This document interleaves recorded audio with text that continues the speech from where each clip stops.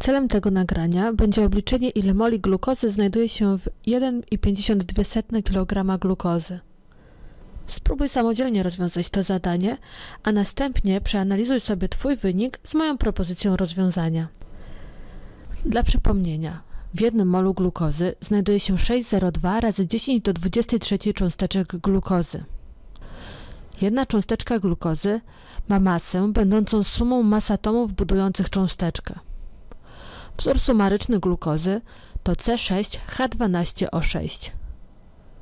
W takim razie masa cząsteczkowa glukozy to 6 razy masa atomowa węgla, dodać 12 razy masa atomowa wodoru, dodać 6 razy masa atomowa tlenu. 6 razy 12 unitów, dodać 12 razy 1 unit, dodać 6 razy 16 unitów daje nam 180 unitów. Skoro jedna cząsteczka glukozy ma masę 180 unitów, to jeden mol cząsteczek glukozy będzie miał masę 180 unitów razy 6,02 razy 10 do 23 cząsteczek dzielone przez jedna cząsteczka.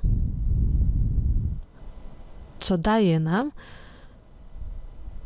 1083,6 razy 10 do 23 unita. Pamiętaj, 1 unit to 1,66 razy 10 do minus 24 grama. Możemy masę jednego mola cząsteczek glukozy wyrazić w jednostce, którą częściej się posługujemy na co dzień w gramach. 1083,6 unita razy 10 do 23 razy 1,66 razy 10 do minus 24 daje nam 180 gram.